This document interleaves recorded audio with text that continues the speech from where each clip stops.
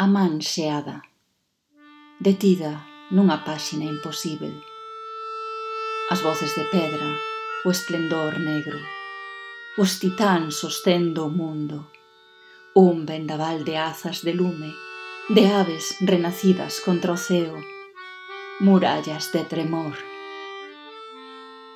O ar gastado, destruído dunha sinagoga os ornatos do espolio, o cristal azul da dor, as prisións de nós, os mantos da invernía, as lámpadas humildes bazadas dos mercados,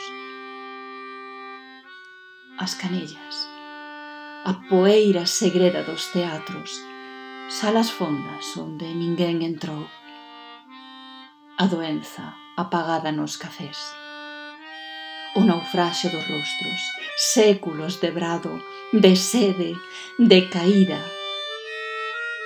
A insania boga do tempo. Aquí.